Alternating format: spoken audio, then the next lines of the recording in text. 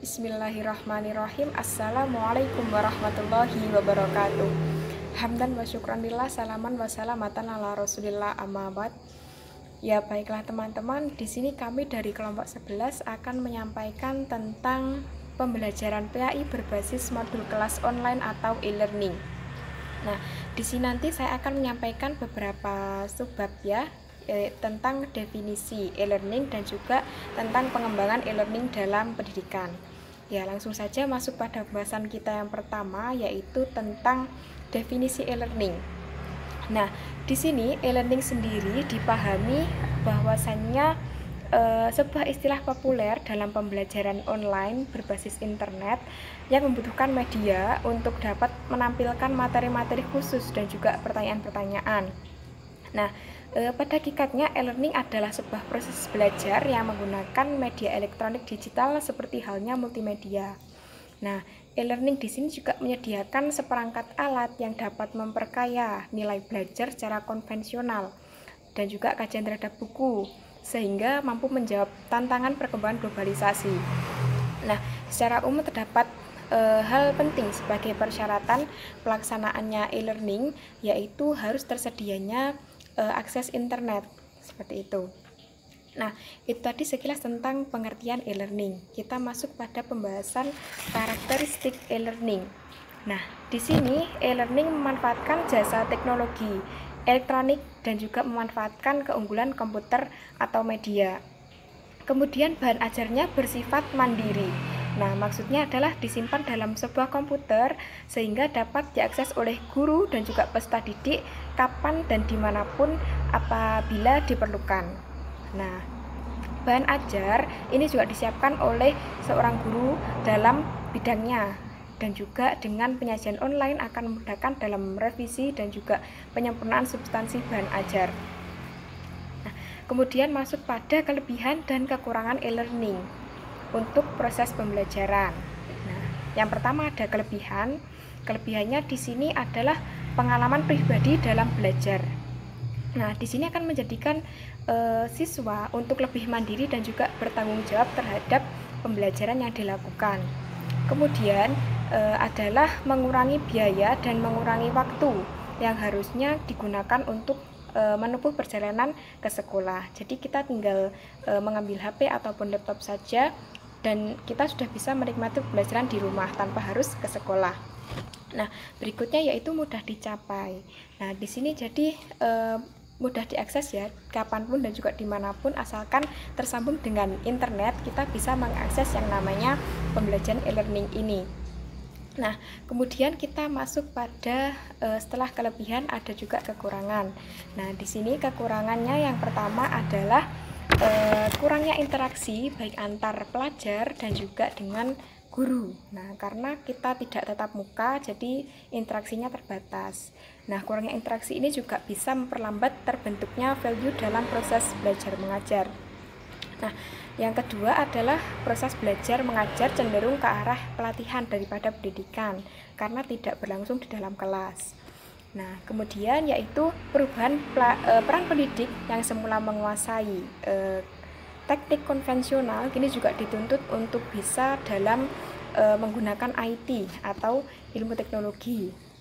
Kemudian hambatan yang berikutnya yaitu e, tidak tidak semua tempat atau juga belum semua tempat dapat mengakses atau e, tersedia internet. Jadi, untuk melaksanakan pembelajaran berbasis e-learning atau kelas online ini akan mengalami kesulitan sama halnya ketika e, di pelosok ataupun di pedalaman itu nanti kita akan sangat sulit untuk menerapkan pembelajaran e-learning ini Nah, itu tadi tentang kelebihan dan juga kekurangan. Sekarang kita masuk pada fungsi e-learning terhadap kegiatan pembelajaran.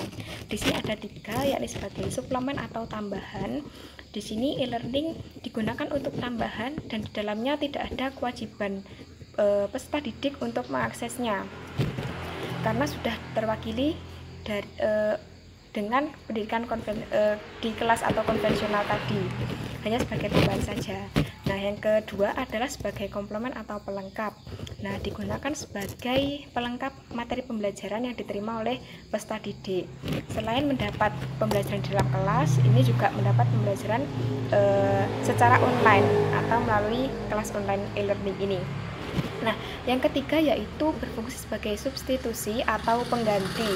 Nah, biasanya diterapkan pada beberapa perguruan tinggi di negara maju eh, yang memberikan alternatif ya model kegiatan pembelajaran atau perkuliahannya kepada mahasiswa itu agar secara fleksibel dapat mengelola eh, berjalannya pembelajaran. Jadi disesuaikan dengan eh, waktu ataupun aktivitas mahasiswa atau peserta didik.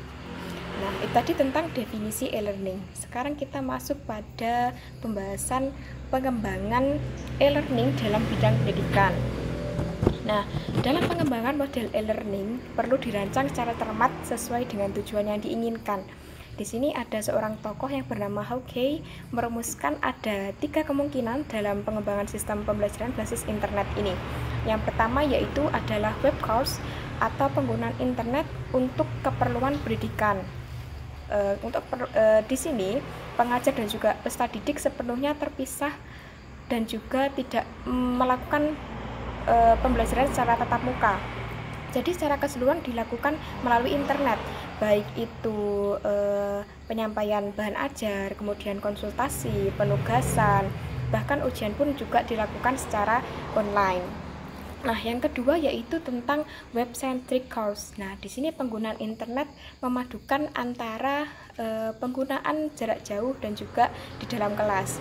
Jadi di sini nanti seorang e, peserta didik akan diberikan pengarahan atau petunjuk untuk melakukan pembelajaran yang akan dilakukan. Nah, yang ketiga adalah e, pengembangan model web enhanced course. Di sini pemanfaat internet untuk menunjang peningkatan kualitas pembelajaran.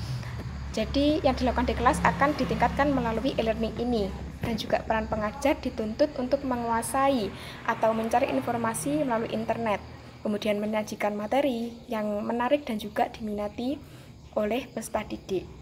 Nah, dengan demikian pengembangan e-learning juga harus memperhatikan e, beberapa hal ya. Yang pertama di antaranya yaitu memperhatikan tujuan pembelajaran, kemudian SDM, e, dan juga mengembangkan perangkat perangkat lunak ataupun perangkat kerasnya secara berkesinambungan. Nah, teman-teman itu tadi sekilas tentang definisi e-learning dan juga pengembangan e-learning dalam bidang pendidikan. Kemudian e, sebab berikutnya akan disampaikan oleh Mbak Robika. Sekian dan terima kasih. Pesan terakhir yaitu tentang pemanfaatan e-learning. Pemanfaatan e-learning di sini dilihat dari tiga sudut. Yang pertama sudut dari peserta oh, didik, sudut dari peserta didik nah maksud sudut dari peserta didik di sini dapat peserta didik itu dapat mengakses bahan-bahan bahan-bahan belajar setiap saat dan berulang-ulang. Nah, kemudian peserta didik di sini juga bisa berkomunikasi bisa dengan guru setiap saat. Kemudian sudut guru atau dosen. Nah, dengan adanya e-learning, guru lebih mudah pemutakhiran bahan belajar yang menjadi tanggung jawabnya. Nah, kemudian waktu luang yang dimiliki guru itu juga relatif banyak karena untuk mengontrol kegiatan belajar siswa kegiatan belajar siswa. Guru di sini juga bisa mengetahui atau juga bisa melakukan evaluasi. Kemudian yang ketiga bagi sekolah. Bagi sekolah di sini dengan adanya model pembelajaran e-learning, maka di sekolah tersebut ter juga tersedia bahan ajar yang telah divalidasi sesuai dengan bidangnya sendiri sehingga setiap guru itu juga dapat mengaksesnya. Kemudian yang kedua penyelenggaraan penyelenggaraan e-learning dalam pembelajaran PAI nah, pengembangan materi pembelajaran agama Islam sebaiknya juga dikemas secara interaktif secara interaktif dan menarik. Nah, salah satu caranya adalah dengan mengintegrasikan seberbagai macam media atau disebut juga dengan multimedia. Kemudian di sini siswa juga mempunyai keinginan untuk mengoperasikan multimedia tersebut supaya pembelajaran tidak monoton. Nah, bahan ajar pembelajaran agama Islam yang berbasis e-learning yang disiapkan kemudian dijalankan kemudian bisa dimanfaatkan melalui media web atau juga disebut dengan multimedia mempunyai tiga karakteristik. Yang pertama menyajikan multimedia. kemudian yang kedua menyimpan mengolah dan memberikan informasi.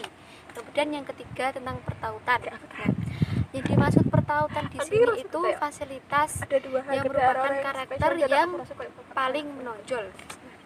Kemudian bahan ajar itu juga setidaknya mempunyai enam unsur. Yang pertama mencakup tujuan.